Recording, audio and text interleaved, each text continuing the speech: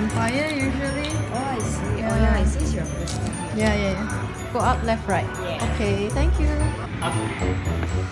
Hi guys, welcome back to my channel. My name is Stephanie Chew. I am a fitness enthusiast, a diet experimenter, and I'm a big fan of living a healthy, fit, happy lifestyle. So today, I wasn't going to vlog, but because I had scheduled in a session, so I thought it would be fun to just uh, quickly record this for you guys to see just to let you know that my life is not perfect.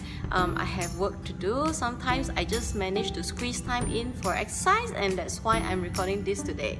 So yeah this is sort of something like a day in my life as well as my fitness routine. So today I'm going to do a lower body workout. So you can see from my outfit that I am not prepared to shoot today. So yeah, it's just a spontaneous video out of my comfort zone. I'm trying new things and I hope you enjoyed this video. Please subscribe if you like my videos. If you enjoyed this video, please share with your friends and happy watching guys. Let's go!